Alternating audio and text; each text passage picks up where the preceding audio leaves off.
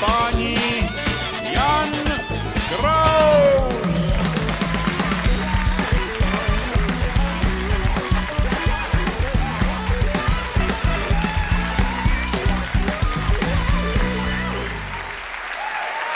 Děkuji, dobrý večer. Dobrý večer, dámy a pánové, děkuji. Děkuji úctivě, dobrý večer.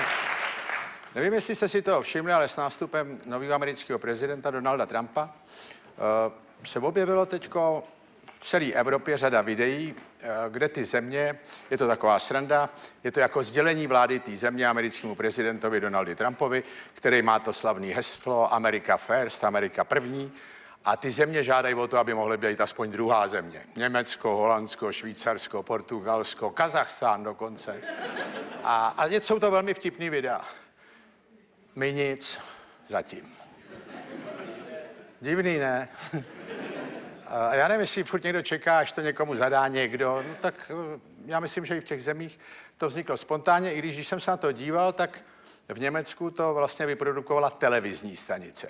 V amerických televizních stanicích, když se podíváte, tak oblíbený pořad Saturday Night Live bez Trumpa vůbec neexistuje dneska.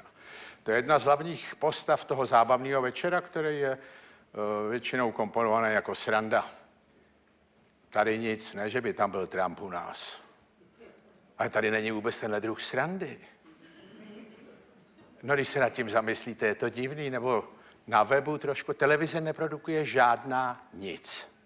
U těch komerčních bych si mohl říct, ty si říkají, že by se na tom asi nevydělalo, no ale co ta veřejnoprávní? Nic. Aby nebyly problémy, nebo že by si rada, nebo že by si poslanci stěžovali. Tak já myslím, že už z hlediska toho, že je třeba dát najevo, že srandu nám opravdu nikdo, nikdy vzít nemůže, je třeba začít ji rychle dělat, pokud možno teď.